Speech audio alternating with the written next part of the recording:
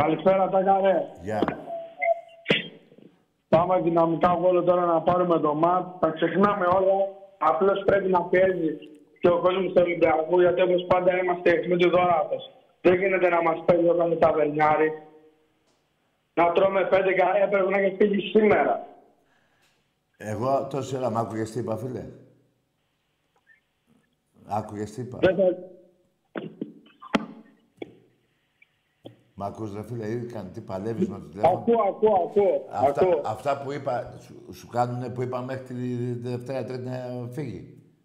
Και πώς θα πάρει και το Ε, πίσω. εννο, εν, εννοείται. Ωραία. Εννοείται ότι πρέπει Ωραία, να φύγει. ωραία. αλλά Να τρώμε πέντε τώρα. Αν είναι δυνατόν. Άσε, Ο ρε, Ολυμπιακός ρε, το φίλε. κάνει, αλλά χάνουμε ψηλά Ρε, το κάτσε κεφάλι. να πω ρε κάτι. Πάλι Ρε. καλά. Περίμενε ρε, περίμενε ρε. Εδώ προ- πριν δύο χρόνια, Μπάγερ, Μπαρτσελώνα 7-0. Γίνονται αυτά στο ποδόσφαιρο, ρε. Το θέμα είναι να μην γίνεται κάθε χρόνο. Φάγαμε και από τον Πάο, όμως κάναμε και εκεί ταμείο. Που κατά τη γνώμη μου έπρεπε να φύγει. Καλά, καλό βράδυ, φιλαράκο. Άστο.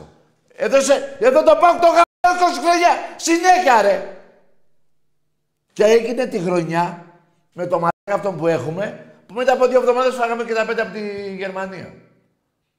Τι είναι αυτά που λες, ρε; Ρε πρόπεσε το γάμο στο πάγο στην Τούμπα. Μου φαίνεται φιλαράκο καινούριος, είσαι μικρούλης είσαι ακόμα. Για δες και τα...